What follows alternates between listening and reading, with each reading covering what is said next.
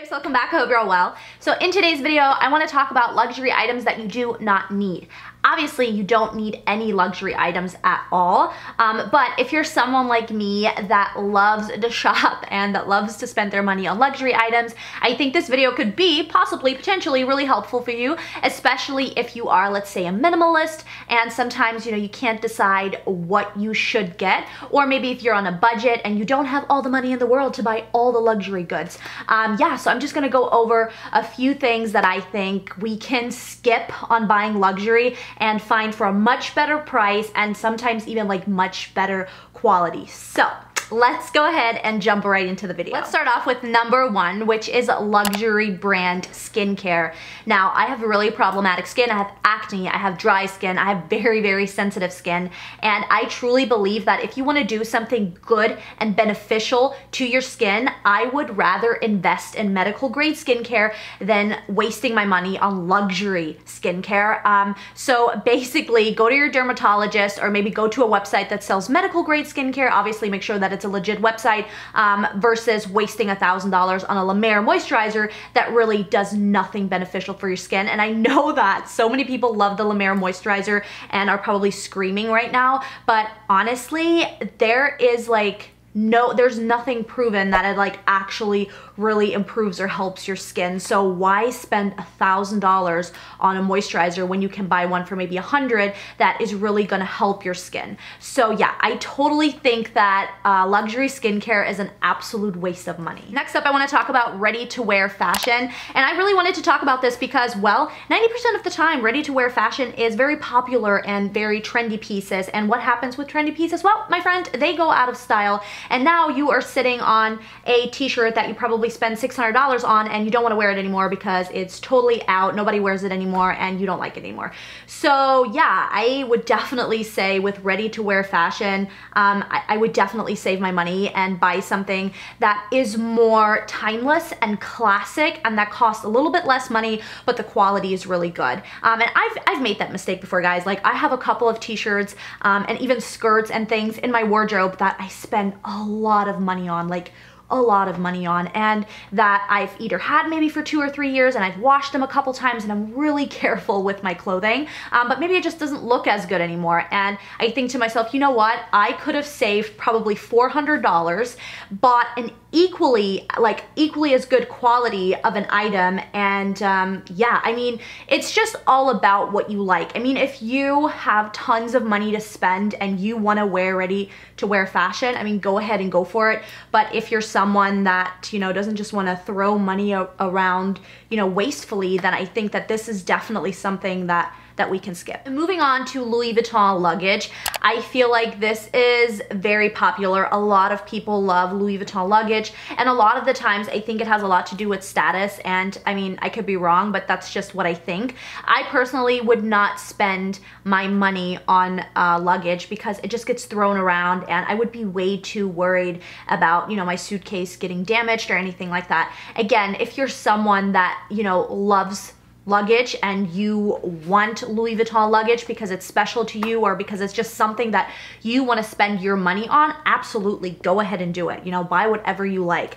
But again, if you feel like you need it just because it's cool and everybody else has it and you know, it kind of symbolizes status, I definitely think it's something we can skip on. I'd much rather buy a nice bag than hauling around a Louis Vuitton suitcase or something like that that's just gonna end up getting damaged and ruined. All right, let's move on to freaking luxury headbands.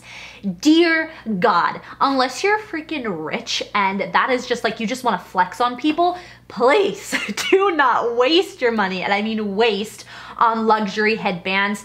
Um, I honestly didn't even know that this was a thing until I saw someone with a Fendi headband and I looked up the price just out of curiosity and I think it was like four or five hundred dollars and I almost fell off my freaking chair. Like what in the actual F? like first of all, this is super trendy right now. Like a year ago, no one wore headbands. Maybe I'm wrong, maybe it was two years ago, but whatever. Like no one wore headbands. They were like a thing of Gossip Girl and now everyone is wearing them. So obviously they're super popular at the moment.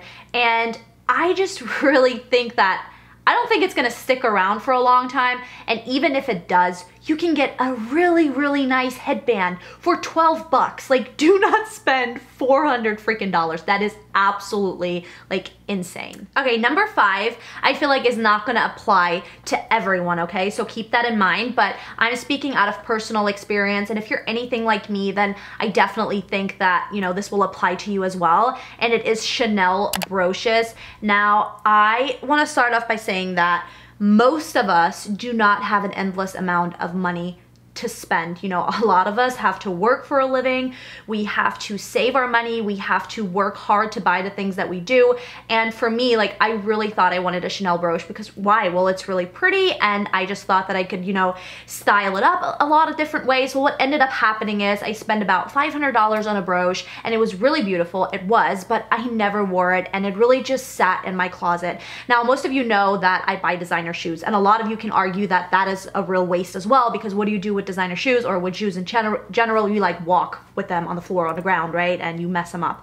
Um, but at least I'm using them. And for me, it's all about getting, um, you know, use out of the items that I purchase because I'm working hard for them and I want to make sure that I get a lot of use out of the stuff that I buy. So for me, Chanel brooches are just not worth it. And I would much rather invest in, in something else that I would use a lot more. Now, if you're someone that loves brooches and you wear them all the time, then again, absolutely. It might be something that's worth it for you.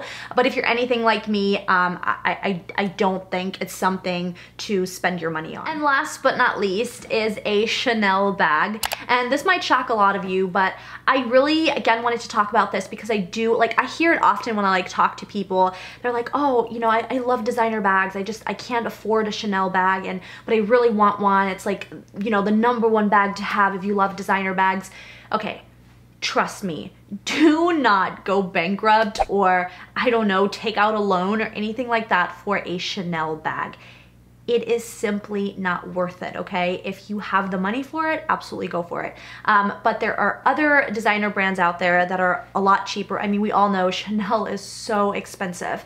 Um, but yeah, there are other designer uh, brands out there where you can buy a designer bag for a lot cheaper and uh, honestly, people are probably gonna freaking hate me, but I do not see a freaking difference between my Chanel bag and my Gucci Dionysus, or my Chanel bag and my Louis Vuitton Pochette Métis. And there's a huge price difference. So don't feel, all I'm trying to say is you don't have to feel like you need a Chanel bag because it's like the thing to have. Um, and I know all the Chanel lovers are gonna come for me now. I'm sorry, didn't mean to offend anyone. I still love Chanel, but I'm just saying, you know, if it's not, if you don't truly love it and if it's not a label that you're like obsessed with, you know, don't don't go bankrupt for it.